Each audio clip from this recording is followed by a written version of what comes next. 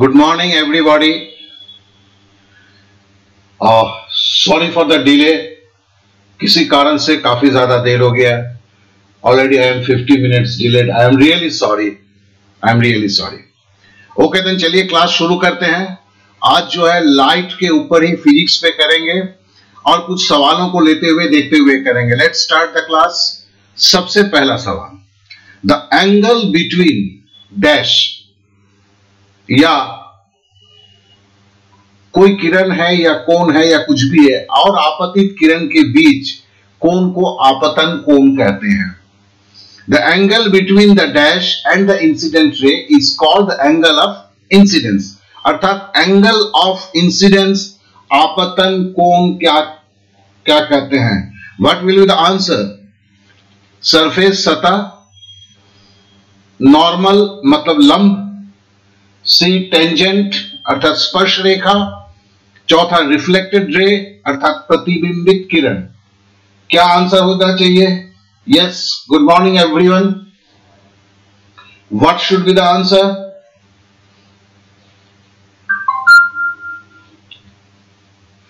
तो कोई आंसर नहीं आ रहा है, अभी शुरुआत नहीं हो रहा है, थोड़ा सा बॉडी गर्म नहीं हुआ लगता है मेरे को तो लेट्स मुझे बोलने दीजिए, ये जो है आंसर जो इसका होगा दैट इज़ क्या होगा? नॉर्मल लंब ये इसका आंसर है, इसको जरा देख लेते हैं। दिस वन इज़ द क्या बोला गया है?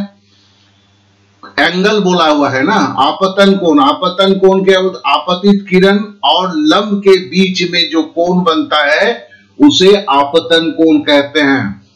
रिफ्रेक्टेड रे गलत है डी जिन्होंने कर रहे हैं, गलत है। That is the normal B it should be the B D नहीं है।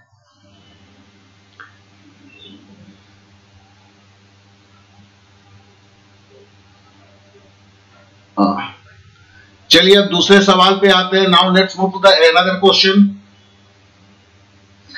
इसको क्या बोलते हैं? लंब और आपतित किरण के बीच के कोण को आपतन कोण कहा जाता है। प्रकाश जब एक माध्यम से दूसरे माध्यम में जाने के लिए मुड़ने की प्रक्रिया को क्या बोला जाता है? Bending of light as it passes from one medium to another is called very simple question very simple question एकदम शुरुआती दौर की क्वेश्चन है ये। इसे क्या बोला जाता है? जरा हमें बताएँ। प्रकाश जब एक माध्यम से दूसरे माध्यम में जाने के, मुड़ने की प्रक्रिया को क्या बोला जाता है? इसे सिंपली आपका जो है रिफ्लेक्शन बोला जाता है। गलत क्यों कर रहे हैं आज के लोग? तीन को छोड़ के सब डिफ्लेक्शन झुकाव मैंने दे दिया, उस पर मारा, अरे यार रिफ्लेक्शन बोलते हैं। जब कोई प्रकाश एक माध्यम से दूसरे माध्यम की तरफ़ जाता है तो उसका नाम जो है रिफ्रैक्शन बोला जाता है। जरा इस चीज़ को देख लें। जब प्रकाश एक माध्यम से, ये एक माध्यम है, दूसरे माध्यम में जाता है तो प्रकाश जो है झुक जाता है, मुड़ जाता है। इस मुड़ने की प्रक्रिया को हम अपवर्तन बोलते हैं। जब प्रकाश की किरण एक माध्यम से दूसरे माध्यम में जाता है तो वो अपने लंब की दिशा से मुड़ जाता है। तो फिर उसे ही जो है हम अपवर्तन कहते हैं। ये सिंपली जो है, अपवर्तन का डेफिनेशन से जुड़ा हुआ सवाल है। अब हम आते हैं तीसरे सवाल पे। धूप के चश्मे की पावर क्या होती है? धूप के चश्मे की पावर क्या होती है? ज़ीरो डायोप्टर एक डायोप्टर दो डायोप्टर चार डायोप्टर धूप के चश्मे की पावर क्या होती है? एक डायोप्टर ज़ीरो डायोप्टर दो डायोप्टर चार dioptre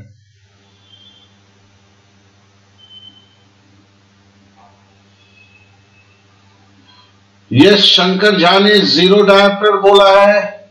Zero yes yes yes, correct. ये ज़ीरो डायोप्टर होता है। धूप के चश्मे का कोई पावर होता नहीं है। तो power of sunglasses zero dioptre चलिए, अब एक और सवाल पे पढ़ते हैं। Refractive index of medium is मतलब अपवर्तनांक किसी किसी माध्यम का अपवर्तनांक क्या है? किसी माध्यम का अपवर्तनांक क्या है? वैक्यूम में प्रकाश की गति से माध्यम में प्रकाश की गति? देखो इसको कैसे पूछा पूछा जा रहा है। Speed of light in medium to speed of light in vacuum, क्या होगा? Refractive index of a medium vacuum में प्रकाश की गति से, माध्यम में प्रकाश की गति, दूसरा है, माध्यम में प्रकाश की गति से वैक्यूम में प्रकाश की गति। तीसरा है, फोकल लंबाई से ऑब्जेक्ट की दूरी। चौथा है none of the ever refractive index of a medium is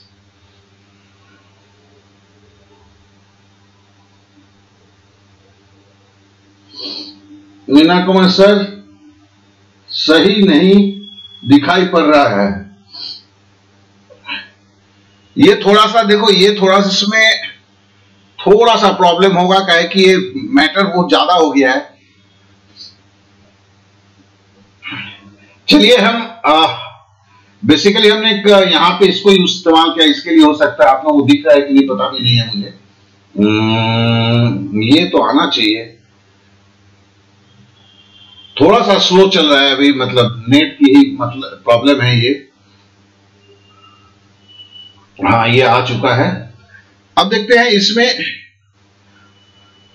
इसमें speed of light in medium to speed of light in a vacuum correct यही आंसर इसका है। मतलब कहने का मतलब है अपवर्तनांक बराबर क्या होता है? वैक्यूम में प्रकाश की गति बटे मध्यम में प्रकाश की गति, माध्यम में। मतलब वैक्यूम में प्रकाश की गति तो सबसे ज़्यादा होता है और मतलब उस माध्यम में प्रकाश की गति वैक्यूम में प्रकाश की गति के अनुतुलना में कितना है, इसे हमें जाना जाता है। किसी माध्यम में प्रकाश की गति वैक्यूम के प्रकाश प्रकाश की गति की अपेक्षा कितना है, इससे जाना जाता है अपवर्तनांक में। दिमाग में एक बात को रखना है माध्यम में प्रकाश की गति नीचे होगा। तो क्या होगा? इसमें यही है, देखो, दो शब्दों में हल्का सा ट्विस्ट है। Speed of light in medium to speed of light in vacuum और दूसरा में स्पीड ऑफ़ लाइट ये देखो मीडियम की जगह वैक्यूम आ गया to speed of light in the medium अब चलिए नेक्स्ट सवाल पे चलते हैं। यदि कांच की लेस लेंस पावर दो डायोप्टर है तो उसकी फोकल दूरी क्या होगी? कांच का लेंस पावर दो डायोप्टर है तो इसकी फोकल दूरी क्या होगी? एक छोटा सा सवाल है, और ये इस तरह के सवाल पूछे भी जाते हैं। थोड़े ऊँचे रेंज में पूछे जाते हैं, लेकिन ये बहुत ही हल्का सवाल होता है। इसको अगर जान लेते हैं तो कोई बुराई नहीं है। 200 सेंटीमीटर होगा या 100 सेंटीमीटर होगा या 50 सेंटीमीटर होगा? अरे वाह तूफ़ान सिंह अब आ गए हैं। हाँ तूफ़ान सिंह यस सी 50 सेंटीमीटर। पचास अच्छा करेक्ट 50 सेंटीमीटर। और किसी का आ रहा है देखें। उम्मेद कुमार सैनी 100 सेंटीमीटर गड़बड़ हो गया। Satish Kumar Thakur A 200 centimetre. अभी थोड़ा सा लग रहा है कि आ, सी सी सी हाँ महेंद्र जी हाँ। ठीक है। चलिए इसको देखते हैं, इसको कैसे किया जाता है। ये 50 सेंटीमीटर, लेकिन हमें जानना है कि इसकी हम करते क्या है। देखो एफ़ को क्या बोलते हैं? फोकल लेंथ बोलते हैं। बड़ा सिंपल है। अब क्या है? पावर बराबर, देखो, पावर बराबर। पावर को डायरेक्टर में आता है। अब सीधा सिंपल कर लो 100 सेंटीमीटर बटे फोकल लेंथ। पावर डायोप्टर में होगा तो 100 सेंटीमीटर बटे फोकल लेंथ सेंटीमीटर में होगा। अर्थात तुम्हारा पावर क्या है? दो डायोप्टर है, दो दे दिया। यहाँ सौ है और फोकल लेंथ जो है, वो सेंटीमीटर में होगा। तो मतलब क्या फोकल लेंथ लाने के लिए क्या, सौ बटे दो करेंगे? फोकल लेंथ को इधर ले जाते हैं, दो को नीचे कर देते हैं, सौ सेंटीमीटर बटे दो बराबर पचास सेंटीमीटर तो फिर से हम जरा देख लेते हैं। फोकल लेंथ जो पूछा हुआ है फोकल दूरी, इसे हम एफ़ से दिखाते हैं। अब क्या पावर बराबर क्या? देखो पावर बराबर वन बाई एफ़ है। इसको उल्टा करके लिखते हैं पावर बराबर हमें आसानी से सेंटीमीटर में निकालने के लिए 100 सेंटीमीटर बटे एफ़ तो पावर तो हमें दो दिया हुआ है तो दो बराबर 100 बटे एफ़ एफ़ बराबर होगा 100 बटे दो बराबर 50 सेंटीमीटर ठीक है यस सुपन पी बराबर वन अपॉन एफ़ होता है। और ये वन मीटर में होता है इसको समझने के लिए अगर मैं पहले से सौ सेंटीमीटर करता हूँ तो जो नए हैं इसे नहीं जानते वो भी आसानी से कर ले सकते हैं। ठीक है? Now we are moving to the next question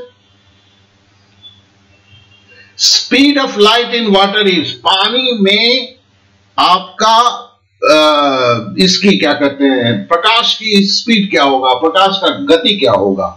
पानी में प्रकाश की गति क्या है?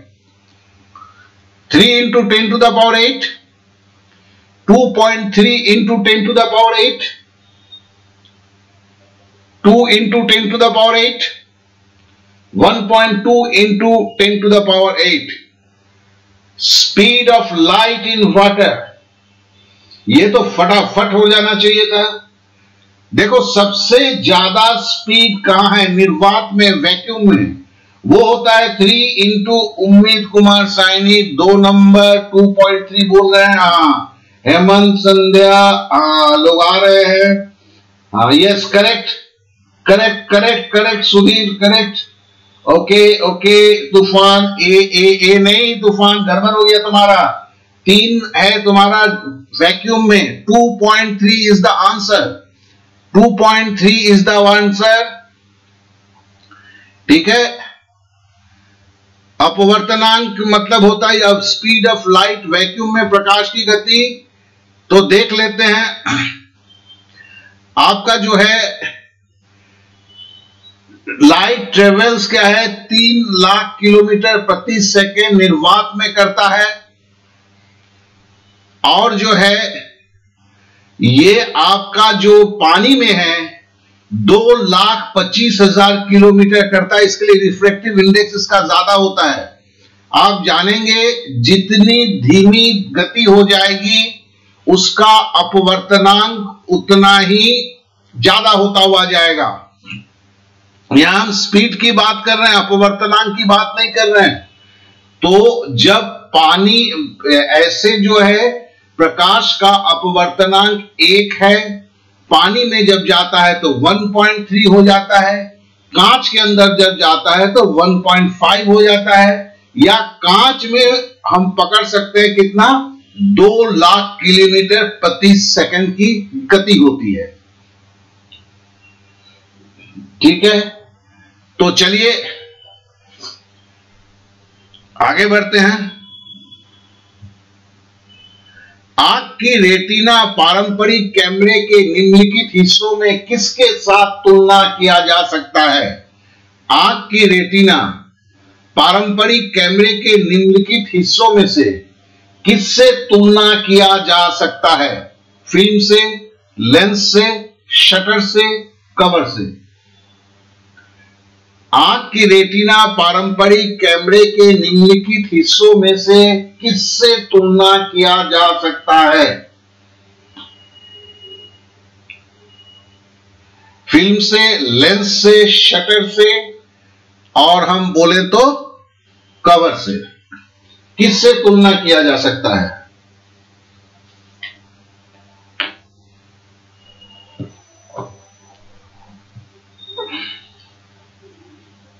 हाँ थोड़ा सा रुक जाता हूँ। राम गोपाल जी बोल रहे हैं फ़िल्म। सुधीर कुमार जी ठाकुर बोल रहे हैं शटर से। महेंद्र कुमार जी बोल रहे हैं लेंस से। टेक्निकल रोहित भी बोल रहे हैं इससे। गोपाल यादव बोल रहा है एक फ़िल्म से। ठीक है? आ, याजन पांडे भी बोल रहे हैं लेंस से। सुमित सोनी भी बोल रहे हैं लेंस से। जरा लेंस के ऊपर ही कुछ ज़्यादा ही ज़ोर है। ठीक है, जरा हम मैटर्स को देख लेते हैं। पहला तो है कि ये जो है आपका फ़िल्म होगा, ठीक है, लेकिन कैसे होगा ये थोड़ा भी हम समझ लेते हैं। तो पहले हम जरा देखते हैं। देखिए, ये जो है, ये आपकी आँख है, ठीक है? ये जो आँख का लेंस है, और हम इस दीवार को देख रहे हैं। तो देखिए दीवाल का जो है ये उल्टा होके चित्र कहाँ बन रहा है? ये आपका रेटिना है।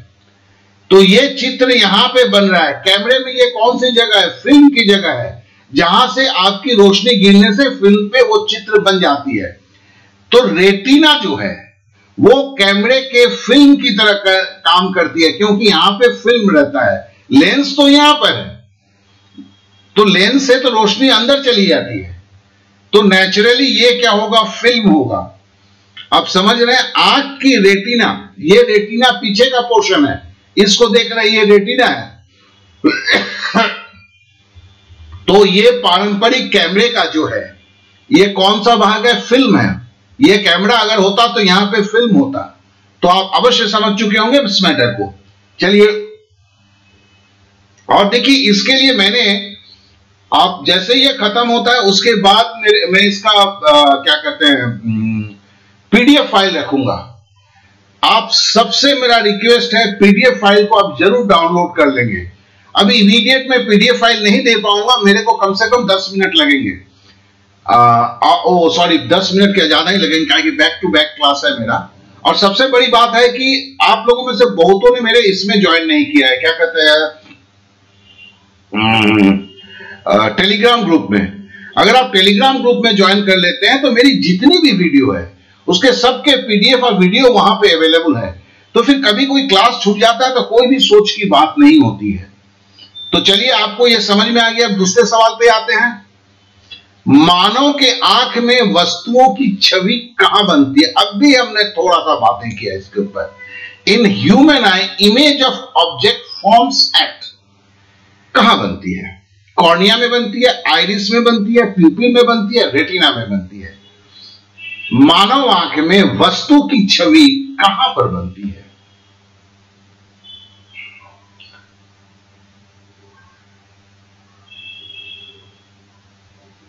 देखिए, आपके सब में यहाँ के डिस्क्रिप्शन में लिंक दिया हुआ रहता है, हर वक्त मेरा लिंक दिया हुआ रहता है। लिंक पर करिए, आपको तुरंत बन जाएँगे।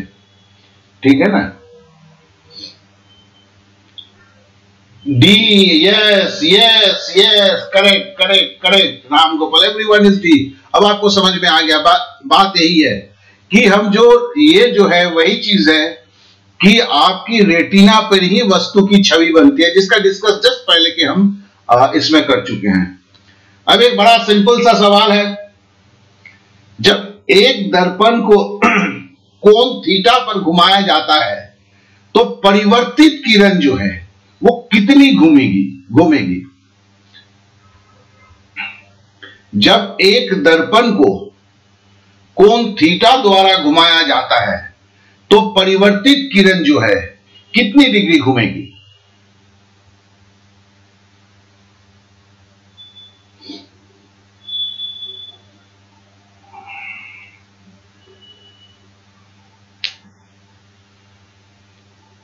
थ्री थीटा घूमेगी, थीटा बाई टू घूमेगी। डी आ रहा है, सुदर्शन सैनी ने दो बोला, तूफ़ान सिंह ने भी दो अच्छा दो, डी अच्छा दो मतलब टू थीटा घूमेगी, ओके, ठीक है, ओके। एकदम absolutely correct every one is absolutely correct it's two theta होगा। इसको थोड़ा सा हम देख लेते हैं। देखो, ये लेकिन एक चीज़ है, ये जो घूमेगा, आप जब इसको क्या कहते हैं, इस मिरर को आप थीटा डिग्री में घुमा रहे हैं तो यहाँ से जो परिवर्तित किरण है, पहली किरण, और यहाँ से परिवर्तित जो दूसरी किरण होगी, उन दोनों के बीच में टू थीटा होगा, इस चीज़ को खाली ध्यान में रखना है। आपके आपतित किरण से पहले की परिवर्तित, परावर्तित किरण, और नए जब आप थीटा डिग्री मिरर को घुमाते हैं, तब की जो परावर्तित किरण है इन दोनों के बीच में टू थीटा का डिफरेंस होगा। ये हल्का सा मैंने बताने का कोशिश किया और देखिए मैंने लिख के भी रखा हुआ है। तो ये जो है, थोड़ा सा दिमाग में रखना है। अगर मैं थीटा डिग्री घुमाता हूँ, एक जगह और भी आया, सवाल आया था कि लंब कितना घुड़ेगा लोगों ने वही टू थीटा करके लिख दिया था। तो कहने का मतलब है, परावर्तित किरण टू थीटा में घूमेगी शिफ्ट होगी, लेकिन लंब जो है थीटा ही शिफ्ट होगा। चलिए अब नेक्स्ट सवाल पे आते हैं। ये तो बहुत ही सिंपल सवाल है। रंगीन टीवी में रंग किन तीन रंगों के संयोजन से निर्मित होते हैं? मतलब रंगीन टीवी में कौन से तीन प्रारंभिक कलर होते हैं? बहुत ही नॉर्मल सवाल है।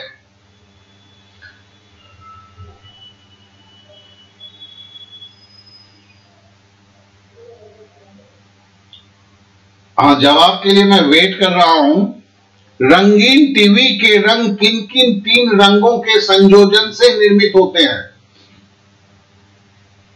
गोपाल यादव बी लाल, हरा, नीला। हाँ सही चल रहा है, ओके। कुमार हाँ सब बी पे। Yes absolutely right it's a B B red green and blue ये इसके प्रारंभिक कलर होते हैं। तो कैथोड जो सीआरटी है सीआरटी में इसको ट्रायड्स भी बोला जाता है। इसमें तीन रंग होते हैं। ठीक है ना? रेड ग्रीन एंड ब्लू उम्मीद कुमार सैनी ने सी बोल दिया। उम्मीद थोड़ा गड़बड़ हो गया तुमसे। ये सी नहीं इट विल बी लाल, पीला, हरा नहीं होता है। लाल, हरा और नीला रंग होता है ओके आगे बढ़ते हैं। नाउ द नेक्स्ट क्वेश्चन जब लाल, नीले और हरे रंग की रोशनी की बीम को एक ही जगह पे गिराई जाए तो लाइट का रंग क्या हो जाता है? अरे मन तो के ओके ओके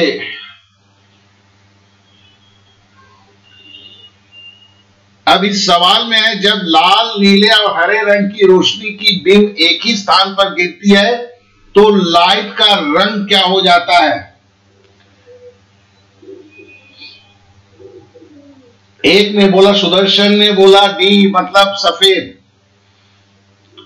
और मानस साहू ने बोला लाल। वीके सैनी, तूफ़ान डी सब डी हाँ सफ़ेद हो जाते हैं यस विष्णु देव विष्णुदेव विष्णुदेव ए, अरे यार, कहा से? याजन पांडे, दो जन गलती कर दिए। वायलेट नहीं होता है। जब ये तीनों प्राइमरी कलर हैं, ये जब तीनों कलर एक साथ होंगे तो वो हमें सफ़ेद रंग प्राप्त होगा। एक नोट भी मैंने बना दिया है। लाल, हरे और नीले प्रकाश के प्रारंभिक रंग के रूप में जाना जाता है। और यदि हम प्रारंभिक रंगों की जोड़ी को जोड़ते हैं तो हमें सफ़ेद रंग प्राप्त होता है। हाँ Mohammad Ghulam Jilani D okay Umeed Kumar Saini D correct Vishu Dev A यार, विशु, जरा देख ले यार, गलती हो गई है। सुमित सुमित निषाद, ये भी आपका भी गड़बड़ हो गया है। महेंद्र कुमार तो सिंपल है, बहुत ही सिंपल है, इसे जरा ध्यान देंगे इसके लिए। प्लीज़ इसके पीडीएफ फ़ाइल को आप लोग डाउनलोड कर लेंगे। चलिए अब नेक्स्ट सवाल पे आते हैं। लेंस का पावर एसआई यूनिट में क्या है? लेंस का पावर एसआई यूनिट में क्या है? डायप्टर है सेंटीमीटर है मीटर है वाट है। SI unit of power of lens क्या है? डायप्टर है, सेंटीमीटर है, मीटर है, वाट है।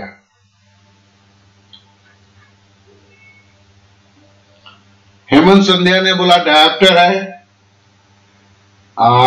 महेंद्र महेंद्र, डायप्टर है। याजान पांडे भी करेक्ट हाँ सब कोई से Gopal Gopal Yadav Raju Lal yes correct correct correct correct correct हाँ जी, सही है सही है। सबका सही है डायोप्टर है। तो हम जानते हैं लेंस का पावर डायोप्टर में किया जाता है। यस करेक्ट अब चलिए आगे का सवाल देखते हैं। डायोप्टर फिर थोड़ा सा हम याद रखते हैं पावर बराबर होता है 100 centimetre divided by focal length in centimetre ठीक है? अब एक सूर्य के प्रकाश में, सूर्य के प्रकाश के अदृश्य भाग को उपयोग कर प्रकाश संश्लेषण कुछ डैश द्वारा किया जाता है यह सवाल आया हुआ था। सूर्य के प्रकाश के अदृश्य भाग को उपयोग कर।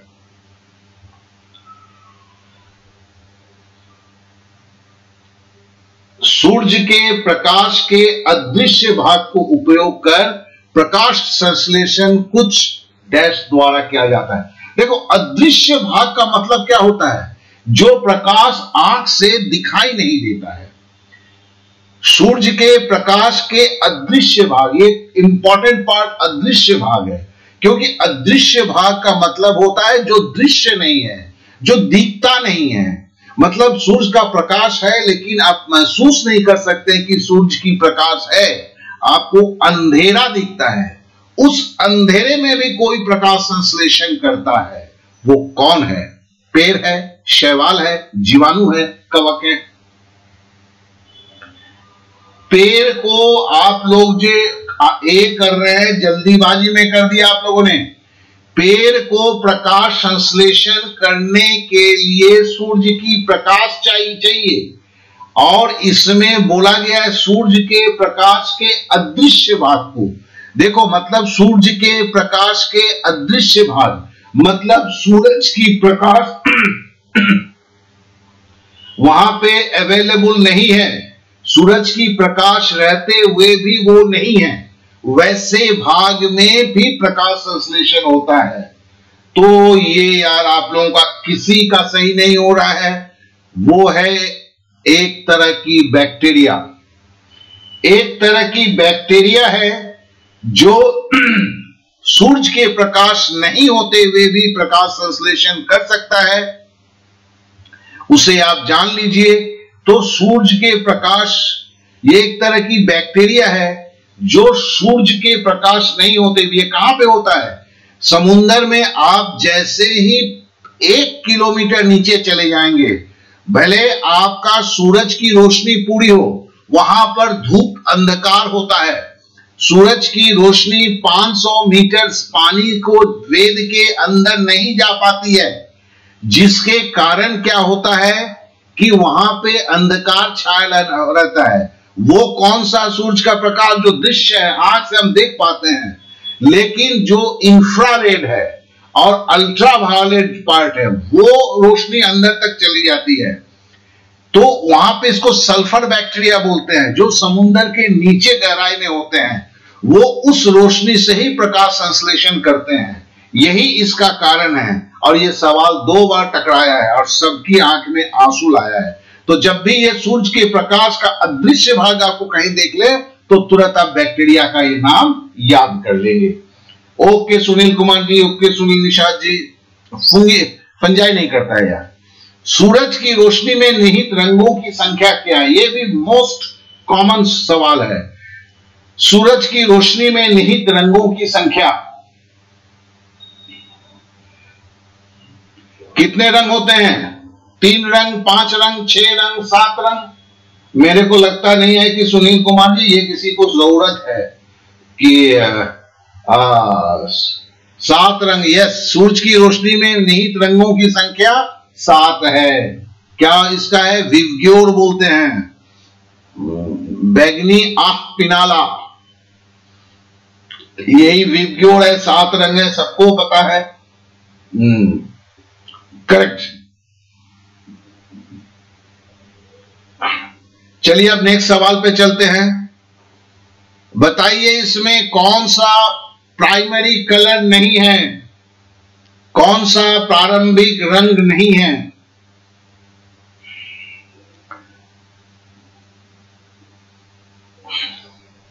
ए बी सी डी कौन सा प्रारंभिक रंग नहीं है?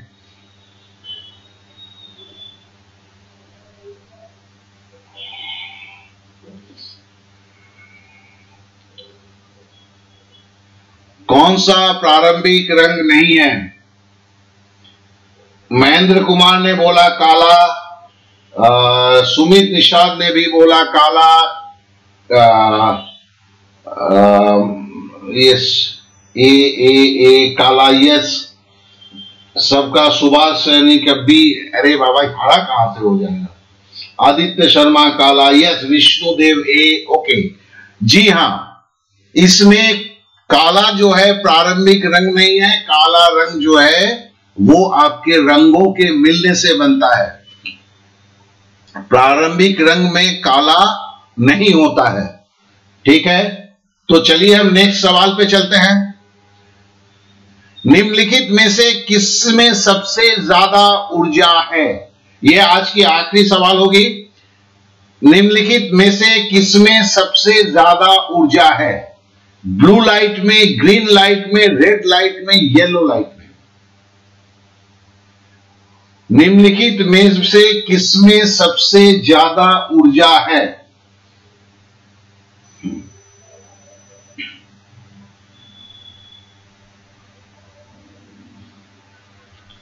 निम्नलिखित में से किसमें सबसे ज़्यादा ऊर्जा है? सुदर्शन ने बोला, सी रेड में, आशीष ने बोला, सी रेड में, विकास ने बोला, डी पीली रोशनी में याजन ने बोला, सी आपका लाल रोशनी में, संजीत ने भी बोला, लाल टेक्निकल, रोहित ने बोला, राजू लाल ने बोला, सी सब लाल लाइट की बात कर रहे चलो, थोड़ी सी मैटर्स को पहले देखना भी हमें ज़रूरी है, कारण को तो बिना जाने नहीं हो सकता है। ठीक है ना? तो देखो, ये सबसे ज़्यादा ऊर्जा ब्लू लाइट में होता है ए में होता है। कैलाश चंद मीना सी सी सी ये तो मतलब है कि एक नई चीज़ को आप जान रहे हैं। क्यों का कारण जान लीजिए, तुरंत आपको समझ में आ जाएगा। सबसे ज़्यादा ऊर्जा ब्लू लाइट में होता है। चलिए जरा विज्ञों को देख के हम समझने की कोशिश करते हैं। ऊर्जा देखिए, ऊर्जा जो है उसके तरंग दैर्घ्य का मतलब वन बाई तरंग दैर्घ्य होता है। ठीक है ना? मतलब ऊर्जा अगर तरंग दैर्घ्य कम होगा तो ऊर्जा ज़्यादा होगा। तरंग दैर्घ्य और ऊर्जा में वेवलेंथ और ऊर्जा में क्या संपर्क है? एक कम होगा तो दूसरा ज़्यादा होगा। तो यहाँ पे देखो, ब्लू से चालू हुआ है। सबसे कम जो तरंग दैर्घ्य होता है, क्या है? वैग्नि का। सबसे ज़्यादा तरंग दैर्घ्य क्या होता है? रेड का। तो यहाँ पे ब्लू देखो है, ब्लू का तरंग दैर्घ्य, यहाँ जो चार लाइट दिया है, ब्लू, ग्रीन, रेड, येलो, देखो, ब्लू, ग्रीन, रेड, येलो। इस चार में सबसे कम जो तरंग दैर्घ्य है, ब्लू का है। इसलिए ऊर्जा क्या होगा? सबसे ज़्यादा होगा, क्योंकि इन दोनों में उल्टा का संपर्क है। अगर आपका तरंग दैर्घ्य कम होगा तो उसकी ऊर्जा उतनी ही ज़्यादा होगी। क्योंकि ये चारों में सबसे कम क्या है? आप जानते हैं, तरंग तरंग दैर्घ्य जब हम विब्योर को लिखते हैं तो सबसे कम वायोलेट उसके बाद इंडिगो उसके बाद ब्लू उसके बाद ग्रीन उसके बाद येलो उसके बाद ऑरेंज उसके बाद रेड तो नेचुरली क्या है? सबसे कम यहाँ पे जो चार दिया है, उसमें ब्लू जो है, उसकी तरंग दैर्घ्य कम होती है। अब तरंग दैर्घ्य चूँकि कम है तो उसके लिए उसकी ऊर्जा सबसे ज़्यादा होगी। फिर से बोलूँगा कि इसे ज़रूर आप देखो, आप लोगों ने क्या रेड लाइट आपके दिमाग में क्या बात आई? सबने रेड लाइट लाल रंग क्यों बोला? आपने सोचा कि चूँकि तरंग दैर्घ्य सबसे ज़्यादा है तो इसके लिए इसकी ऊर्जा भी ज़्यादा होगी। नहीं, तरंग दैर्घ्य और ऊर्जा का संपर्क जो होता है, उल्टा होता है, इस चीज़ को ध्यान में रखें। जितना कम आपका तरंग दैर्घ्य होगा, उसकी एनर्जी उतनी ज़्यादा होगी। तो चलिए आज की क्लास यही समाप्त करते हैं और अगले पाँच मिनट के अंदर में चूँकि देरी हो रहा है, आज गणित का क्लास है। गणित के क्लास में हम आयतन के बारे में जानेंगे। तो जिन्हें होगा तो आप ज़रूर उस क्लास में ज्वाइन कीजिए। और आप लोगों ने समय दिया और मेरे लिए वेट किया, इसके लिए आप लोगों को मैं बहुत बहुत धन्यवाद देना चाहता हूँ। Okay then bye all of you